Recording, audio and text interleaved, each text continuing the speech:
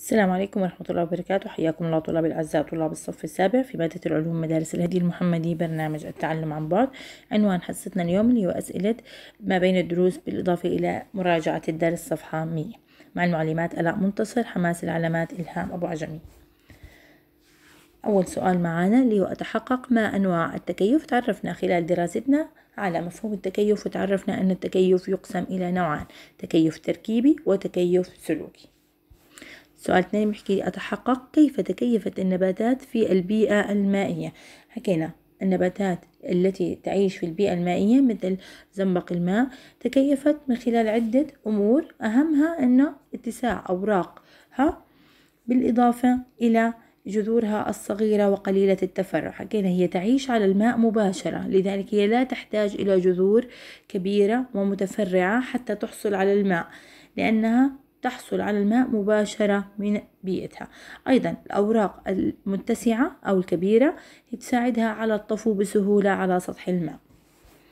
السؤال اللي بعديه بحكي لي أتحقق كيف تكيف الجمل للعيش في الصحراء؟ حكينا الجمل لقب بسفينة الصحراء وذلك لوجود عدة خصائص موجودة في جسم الجمل بتساعده على العيش والتأقلم مع البيئة الصحراوية الحارة. أهمها أن سيقان الجمل طويلة تبعد جسمه عن الرمال الحارة يغطي جسمه الوبر ليقيه من ارتفاع درجات الحرارة خف الجمل عريض. مسطح يساعده على السير على الرمال بسهولة. أيضا هو يمتلك أهداب تحمي عيناه من الرمال الصحراء. أيضا ممكن نحكي أنه يمتلك سنام يستخدمه في تخزين الماء والغذاء. أيضا ممكن نحكي أنه شفت شفته السفلية مشقوقة وهذا يساعده على أكل الأشواك وغيرها من مظاهر التكيف الموجودة في جسمه. أتحقق؟ أعطي أمثلة على كائنات حية منقرضة.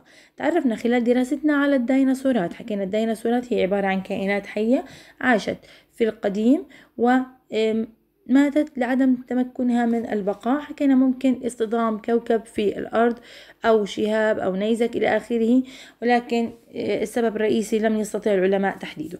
عندنا كائن آخر اللي هو الماموت وهو نوع من أنواع الفيلة اللي عاش برضه في زمن قديم لكنه نتيجة التغير المناخي المفاجئ. لم يستطع جسمه التأقلم مع هذا التغير فمات وانقرض. عندنا كمان النمر العربي وهو نوع من النمور عاش في المناطق الباردة. أيضا تعرض للرعي الجائر والصيد الجائر من قبل البشر لذلك انقرض ولم يعد له وجود. السؤال الأول بقول لي أصنف التكيفات الآتية إلى سلوكية أو تركيبية. خف الجمل حكينا خف الجمل هو تركيب موجود داخل جسم الجمل إذا هو تكيف تركيبي. تظاهر الحشرات بالموت هذا سلوك إذا هو تكيف سلوكي. منقار الصقر إذا تركيبي نشاط اليربوع ليلا. هذا سلوك يقوم فيه اليربوع للمحافظة على حياته أو درجة حرارة جسمه. عندنا لون الذئاب القطبية كان لون الذئاب القطبية مشابه للون الثلج. إذا هو تركيبي هو تركيب في جسمها. الأكياس الهوائية في الطيور أيضا هي تركيب. الهجرة هي سلوك تقوم فيه بعض الحيوانات كالأسماك كالطيور وكالحيتان. مطاردة الفريسة. هذا عبارة عن سلوك. الاختباء في الجحور أيضا عبارة عن سلوك. أقارن بين التكيفات التركيبية للنبات في كل من البيئة الباردة والصحراوية. حكينا في البيئة الباردة النباتات فترة نموها قصيرة تزهر في الصيف وتموت في الشتاء. أوراقها إبرية وتنتج المخاريط لتمنع تراكم الثلوج عليها. طبعا بعضها وليس جميعها.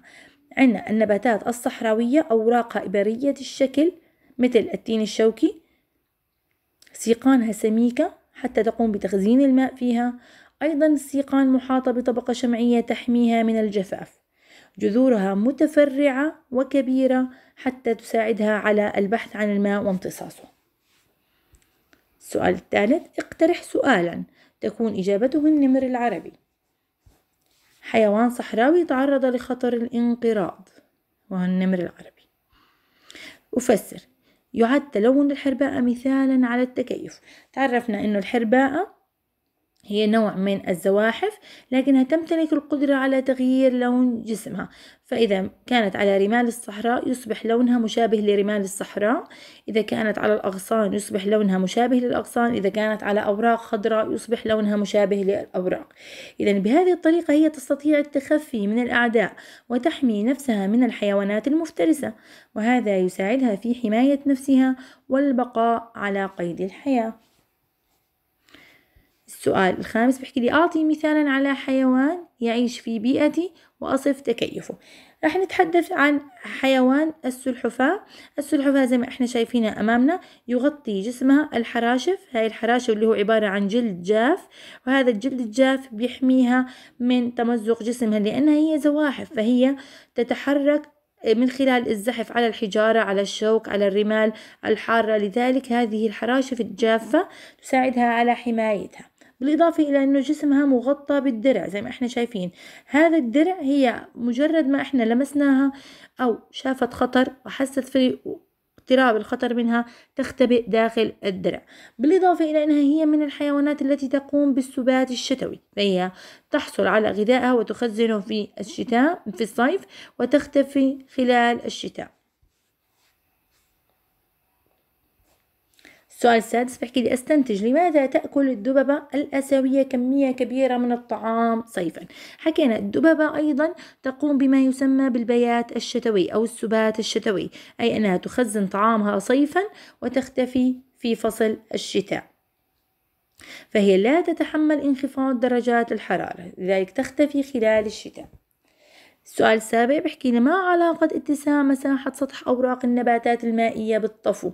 حكينا كلما كانت الورقة كبيرة أي اتساع سطحها كبير يزيد من قدرتها على الطفو على سطح الماء. بالإضافة إلى امتصاص كمية كبيرة من أشعة الشمس وهذا يساعدها على صنع غذائها والبقاء على قيد الحياة. هيك حصتنا لليوم خلصت. دمتم بخير. مع السلامة.